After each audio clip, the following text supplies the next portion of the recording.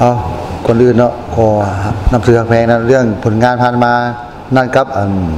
กับสวรรค์เนาะคือว่าคาดหวังว่าสิเอาสามแต้มแล้วมันมันเสียเป็นทีเป็นสุดท้ายให้เขามาตีไปเสมอนะก็ที่คือว่าทีมเฮาก็พัฒนาด้ว่าดีขึ้นขั้นหนึ่งแล้วอ่าบัดนี้นัดต่อไปก็สิเจอกับอ่าทีมฟ้าเนาะเฮาก็คาดหวังว่าตามสุดแล้วก็ วางเอาสามแต้มมาแล้ว เพื่อหนี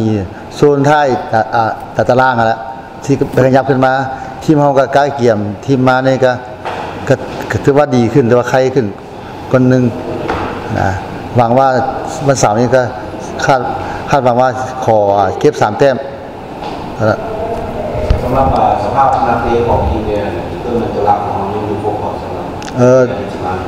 สำอันน่ะเรื่อง ตัวลักมาก็ถือว่าอยู่ครบหมดแล้วถือว่าได้ทินก่อนกลับมาคืนเนาะถือกันน่ะสองเรื่องแดงหนึ่งและยังตัวหนึ่งยังอ่าสหายจิ๋วเนาะถือแดงพัก นัดต่อไปนี่ยังยังไม่ลงใช่นะถือแบนนั่นแหละตามนั่นแหละ